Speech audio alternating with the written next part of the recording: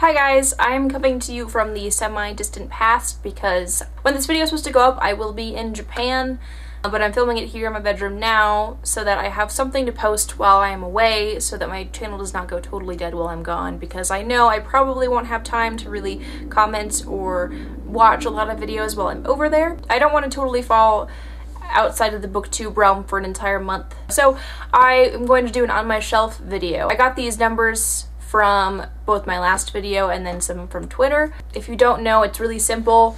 You're just given two coordinates. One corresponds to a bookshelf, the other corresponds to a book on that shelf, and then you talk about it. So it's a way of sharing books that you might not necessarily have an excuse to talk about very often on your channel, and I'm excited about it. I believe I received 10 numbers total, so I'm splitting it 5 and 5 so I can make two videos because as you may know about me, I have troubles with brevity, so I wanted to be able to talk about these books for a little bit of length and not feel pressured to cut it down. So the first set of coordinates that I got was 11 and 11, and I'm very excited to share this book because I love it very much and I've had no opportunity to ever talk about it on my channel, but it is the complete poetry and essential prose of John Milton. This is a textbook that I used for my John Milton class, but I've kept it because I really enjoyed reading Milton. Well, I really enjoyed reading Milton's poetry, let's say that. I don't really necessarily like his prose that much, but I am proud that I have read almost this entire book and it is quite large. I also really like this copy because it has all of my notes that I took throughout the class so in case I ever wanted to revisit Paradise Lost for any reason I can really easily pinpoint like the start of a speech by Satan or a speech by God or a speech by Raphael and having read Paradise Lost is one of my greatest achievements I think as a reader so I'm really proud of this. Uh, Paradise Lost is beautiful it's like 10,000 lines of metered poetry and it's gorgeous. It's just like 400 year old Bible Bible fan fiction. So it's really, really great time. Satan's speeches are like one some of the most beautiful writing I've ever read. Um, and I highly encourage you to read Paradise Lost, even though it is quite a feat. It's very challenging. It's very long, but it's amazing. So I'm going to share a really short excerpt from Paradise Lost because I'm now reminiscing about its glory and I could share a lot of things. Like ideally you would share one of Satan's speeches, but they're really long, so I'll spare you that. But here is just a really beautiful set of lines from Paradise Lost, Book 8. And this is about when Adam first awakens in the Garden of Eden. For a man to tell how human life began is hard, for who himself beginning knew. Desire with thee still longer to conserve induced me. As new waked from soundest sleep, soft on the flowery herb I found me laid in balmy sweat, which with his beams the sun soon dried, and on the reeking moisture fed. Straight toward heaven my wandering eyes I turned, and gazed awhile the ample sky, till raised by quick instinctive motion up I sprung.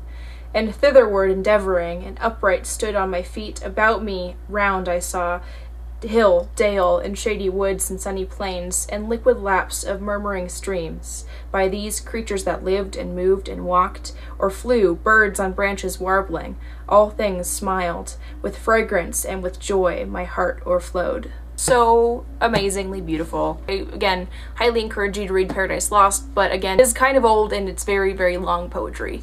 So that might be an immediate turnoff for like most people. Next is 1-1 and I arbitrarily decided long ago that the number one shelf in my apartment is my comic book shelf. So I have Alison Bechdel's Fun Home.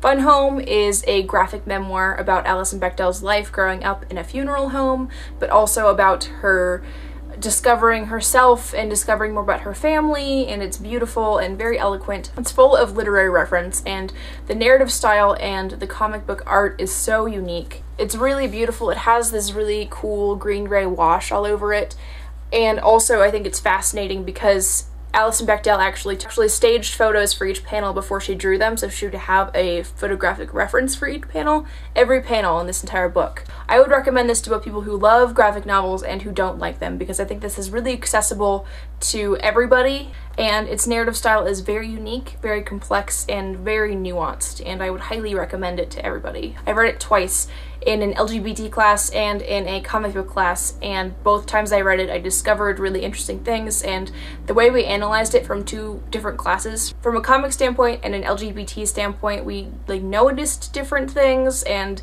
it's just a great novel to analyze and pick apart or just read for fun. But you know me I like to analyze stuff Number four is my YA shelf, so number 412 is Will Grayson, Will Grayson by John Green and David Levithan.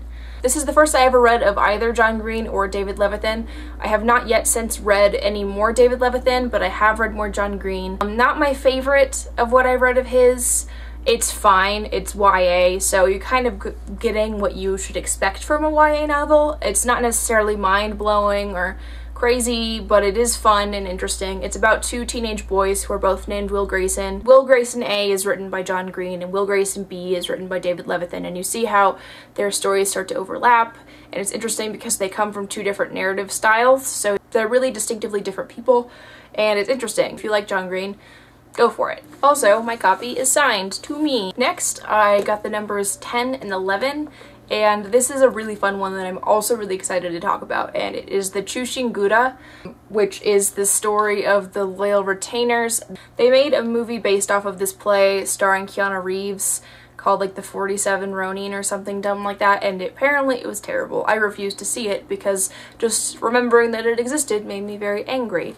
But this is a play from the Edo period of Japan so it was like the early modern period it was a criticism of some events that actually took place, so they said it a few hundred years in the past just to stave off the government's disapproval. It was written by, I think, three different playwrights. Each playwright wrote different acts, so they don't necessarily really string together with any type of linear flow, but it's interesting.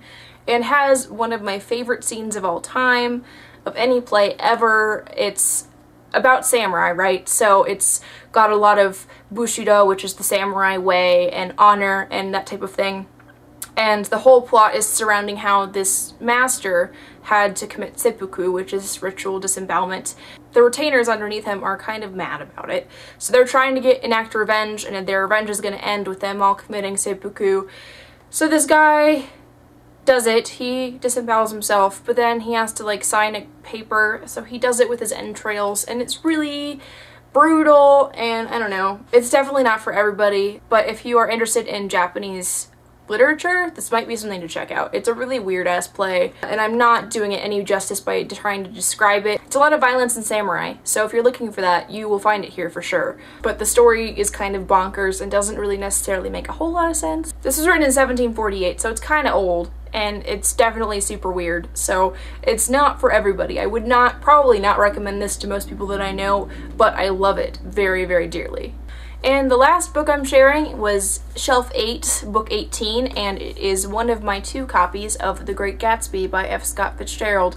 This is a beautiful UK edition of The Great Gatsby. I cherish it because I don't have that many UK copies of books because I live in the United States. And I think it's really cool I love the sleek design of it. I have the super old Great Gatsby. I think this is the same edition as the one that I read in school. I won it from a giveaway from the YouTuber Skeletons on My Shelves, and I'm still really excited to have it. I haven't actually read The Great Gatsby since I won it, but I really should, and I'm really just like, it makes me happy to know that this is on my shelf. Like I said before, I'll probably do another one of these in the nearish future. I hope to see you guys very soon. Bye!